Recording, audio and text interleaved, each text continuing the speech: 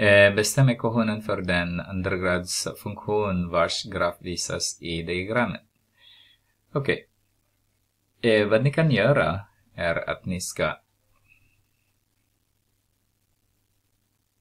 Ni ska se till att ni har, eller uppgift 24 i matte 2c till och med.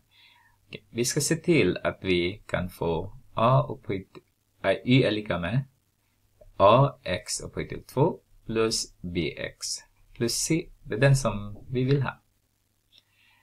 Den som vi ska göra. Det finns också annat sätt att göra. Metod 2 skriver jag y är lika med k multiplicerar med x plus a x plus b.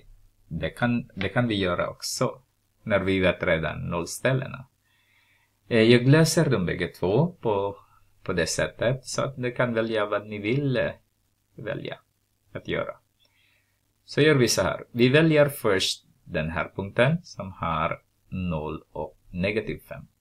Så har vi 0, nej, förlåt. Negativ 5 är lika med a multiplicerar med 0 upphöjt till 2 plus b multiplicerar med 0 plus c. Det vill säga c är lika med negativ 5. Det är ju klart redan med c. Det nästa nu, vi kan välja en av dem. Vi kan välja 2 och 0.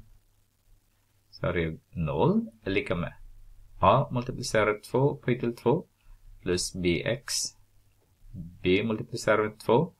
Sen vi har negativ 5 nu, som är c. Förenklar jag den genom att addera båda led med 5.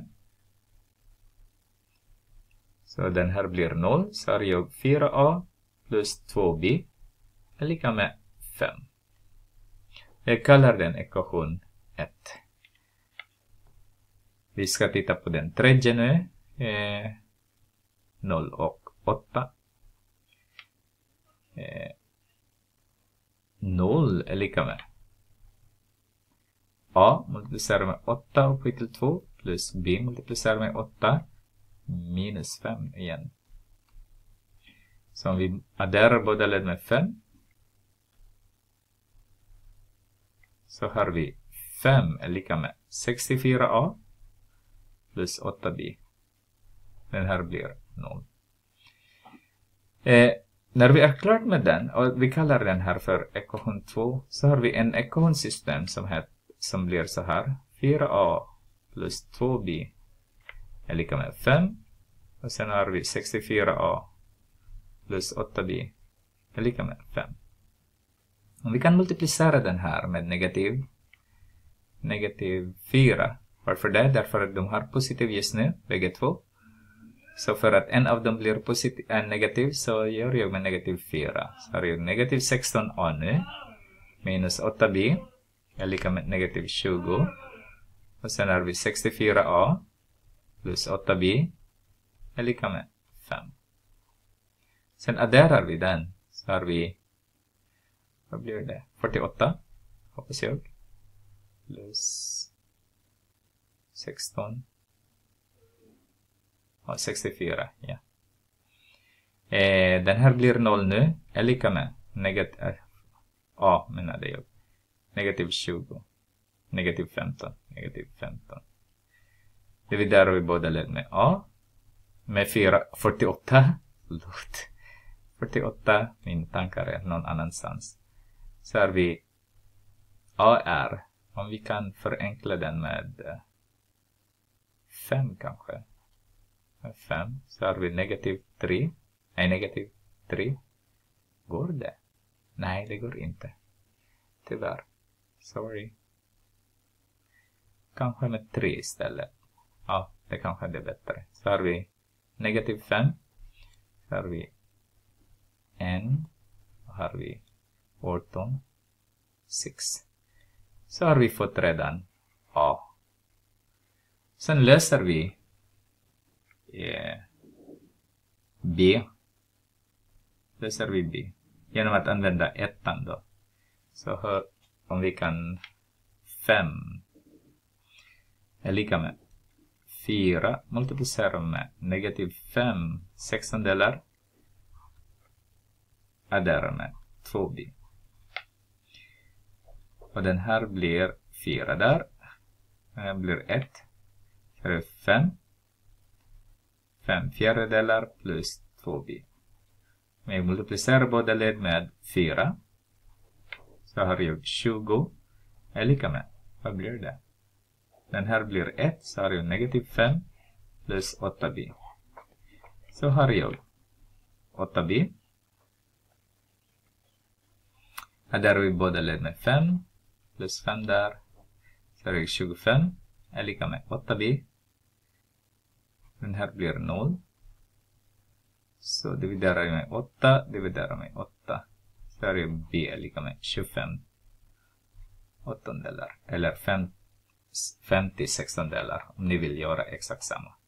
Så vår ekvation nu, vår funktion, ser ut så här.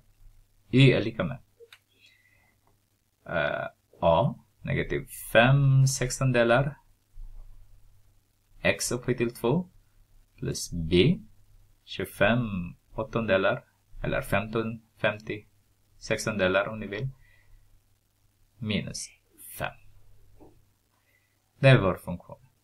Hoppas att ni ser det. Jag ska bara förbereda så att ni ser på andra sättet. Okej, okay. vi skulle göra på det här sättet som vi har sagt. Vi skulle ha en annan penna också. Men det gör ingenting. Okej. Okay. Vad gör man det? Så gör man så här. Y är lika med K multiplicerar med X. Så tar man den första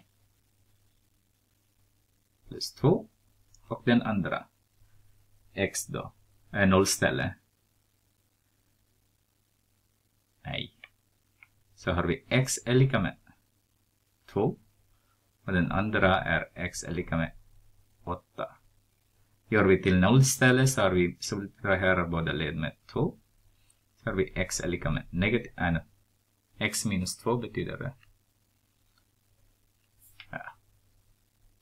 Är lika med 0. Då gör vi likadant där så har vi x minus 8 är lika med 0.